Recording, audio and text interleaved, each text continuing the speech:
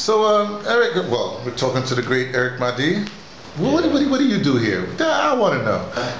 Uh, I'm here, I'm a lecturer of geology. Uh, I lecture second year and third year in honors level. Mm-hmm. Uh, lecture course of uh, structural geology and geochemistry and uh, geology of energy resources. Mm-hmm. Now, you were just in Cape Town. I've been in Cape Town for one week, uh, came back last Saturday. Mm-hmm. Now in Cape Town, there was a, a, a, a hit the hit the worldwide news. There's some sort of what they call a, epoch. Now the first time I heard the word epoch was from Amilcar uh, Cabral. He's talking about the epoch of history. I guess he was talking about a revolution. But what what is what is this epoch thing? I know I, I, I didn't go for the epoch uh, Congress. Mm -hmm. uh, I went for the International Geological Congress. Mm -hmm. So for my regarding epoch, maybe I maybe I, I, didn't hear anything about it. Okay, well, that's what I got out of it. Well, that's what the news has reported. But it just has to do with the world. Uh, basically, are saying that this whole renewable, this uh, the, the fossil fuels, yeah. for so many years they didn't get, they didn't dig them out. They never dug them out to, to such a degree uh-huh. that, uh, well, it's not good. So now, I guess from the geological point of view, what what does all that mean? Uh, fossil fuel. So you have, uh, first of all, I'm going to tell you that uh, we have two type of energy resources because I laid that course. So you have the resources that cannot be renewed once exploited and the resources that can be renewed constantly day by day. -huh. Those can be renewed like the solar solar system mm -hmm. Because the solar that's why we have things like solar panel mm -hmm. uh, because the solar cannot the sun cannot be depleted mm -hmm. so this can be renewed every time mm-hmm. for instance we have a university uh, they have constructed a new building that has been renovated, so you have a solar panel because the sun is being renewed constantly. That's what they call renewable energy. Mm -hmm. So you have other type of energy that cannot be renewed. This we call the fossil fuel. Mm -hmm. Among the fossil fuel, you have uranium, you have coal, and you have petroleum. Mm -hmm. You cannot renew them because once we exploit them, you cannot replace them.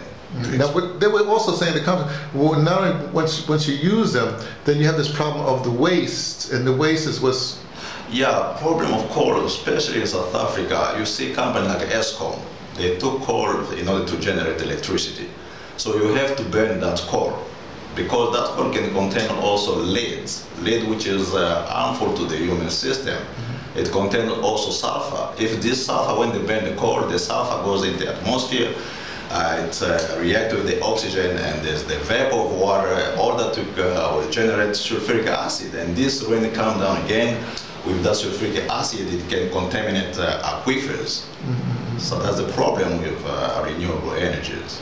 But there was also there's a certain thing I guess they talk about the matter of greed.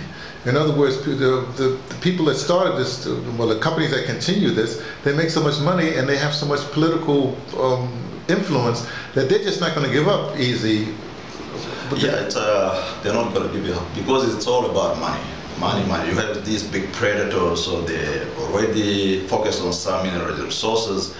Uh, but uh, I can tell you that the last uh, meeting on the, the well, this conflict that took place in France, uh, they were talking about how they can stop the exploitation of coal. And uh, had already one mine in UK, uh, in a place called Yorkshire, they've stopped already mining the coal because coal is very harmful to the human system. Mm -hmm.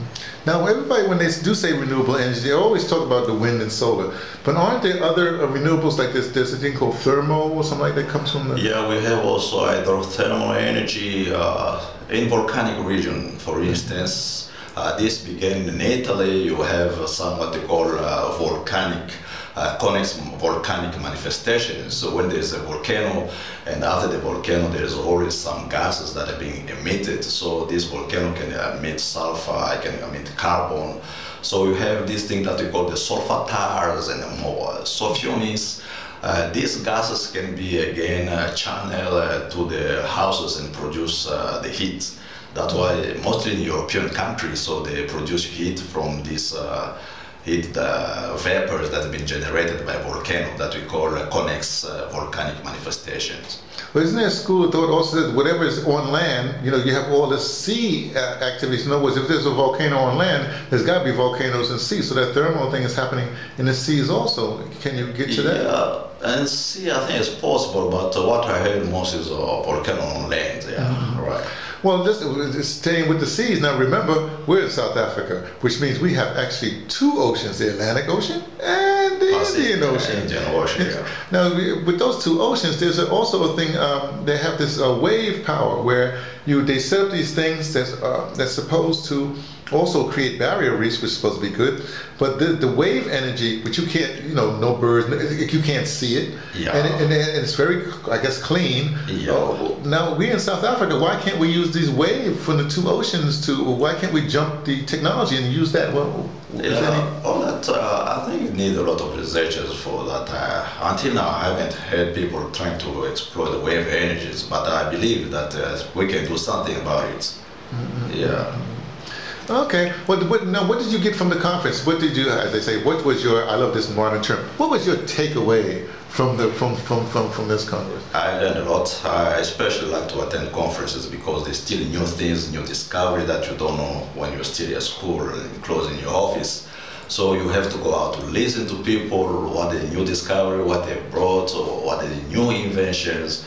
Uh, the, the conference was diversified in geology. You know, geology got many branches. You have structural geology, you have petrology, you have uh, paleontology, uh, you have uh, metamorphic petrology, you have hydrogeology, you have rock mechanics, you have all these sort of branches. So it was uh, quite interesting, and uh, we learned a lot. Well, tell me something that you learned. Some, tell me something I can I can go I can go to a you know we drink a lot in South Africa. I can go with my drinking buddy and say, hey, did you know? Come on, give me something new. Come on. No, I, I learned a lot, uh, especially in the domain of uh, remote sensing. So the application of remote sensing. Remote sensing. Yeah, in order to find some minerals. So nowadays, you know, there are some techniques that we know in geology, like uh, geochemical exploration, geophysical exploration, you know, to find minerals. But uh, with remote sensing is another technique that geologists new uh, applying now. Uh, because with that, uh, you don't have to spend a long time, a lot of time in the field. You just stay in your office and then uh, take thematic maps, uh, satellite images, and process them, and then apply some techniques, and then you can tell you that this place you have uranium, this place you have this and this, and then you can go and uh, wait, wait, wait, wait, no, no, no, no. We, we just talked about renewable energy versus that other stuff that kills you. And uranium seems like one of those. So uh, uh, let me put this way. What did you come away with that, that's beneficial that, that, that the, the, the, little guy, you know, the little woman can say, hey, I can use this, you know? Uh, no, it's uh, the city conference was two, on two aspects. One aspect was purely scientific, scientific, mm-hmm. but uh, another one was uh, how to use some techniques to find some mineral mm-hmm. exploration. Yeah, mm-hmm. that one I'm talking about remote sensing. Yeah, yeah, it's not only uranium, but you can also find uh, iron, copper, mm-hmm. all the minerals. Oh, you didn't mention gold and silver. Yeah, gold. Because you know. I know. Ah, you get a lot of this about gold and diamond.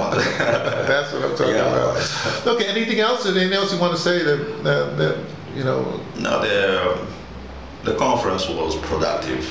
Uh, you see, we have almost 5,000 for all over the world China, America, Brazil, South Africa, Congo, everywhere. Mm-hmm. So it was a huge conference, and uh, imagine people from all over the world, different geological environments, different method of working, Mm-hmm. So we have to know what's going on all over the world. Oh, wait, before let's talk about that. When you say different methods of working, did, could, did you find something that could be applied? I mean, aside from the, the, the remote um, sensing, did you find some other techniques that say they do in, say, I don't know, Peru, that you can apply here, or Brazil that you can apply here? That, did you yeah, there, there, are many techniques, uh, special techniques for fun groundwaters. You see, you apply remote sensing, also you apply geophysics, uh, mainly you apply structural geology.